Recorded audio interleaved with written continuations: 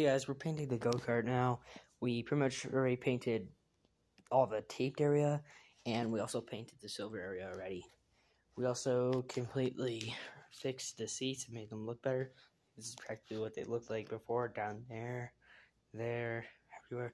We haven't fixed this one yet, right here, but we did fix this one, and right here, there's the seat there. But we also taped all of this off.